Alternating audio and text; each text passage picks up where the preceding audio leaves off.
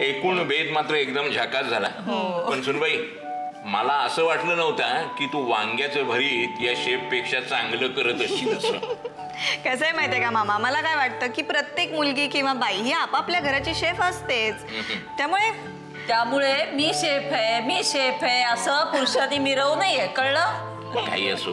तू आलीस मला खूप बरं वाटलं बघ. तेवढेच आमचे काही तास टवटवीत गेले. काय ग? अगदी खरंय. मधुरा येत जागा अशी आदनमधनं आणि प्रत्येक वेळी आल्यावर काम केलंच पाहिजे असं नाही हं? नुसती भेटायला येत जा. आणि हो पुढच्या वेळी येताना रोहितला बरोबर घेऊन ये. हो हो नक्की. कळलं ना? म्हणजे यांचे चिरंजीव नसतील तर तुला घरात यायची परवानगी नाही. म्हणजे काय? रघु पुरे पुरे. असं काही नाही ग. नाही पण खरंच माझी तर अशी इच्छा आहे की लवकरात लवकर आपण मोठा फ्लॅट घेऊया. आणि सगळे एकत्र राहू. तुम्ही दोघं आम्ही दोघं. आणि मी? ओ या ऑफकोर्स तू पण? मस्त म्हणजे तू कधी आलीस? अगं संध्याकाळी झाली आहे ती. आणि आजचं जेवण मॅडमने बनवलंय बरं का? एकदम फरमास.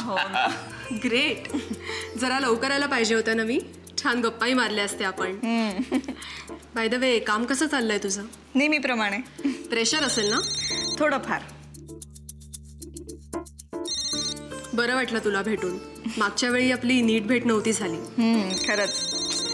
घे घे अटेंड कर कॉल मी निघतेच आहे ग. पुढच्या वेळेला आले की गप्पा मारू निवांत. खरंच. ओके चालेल.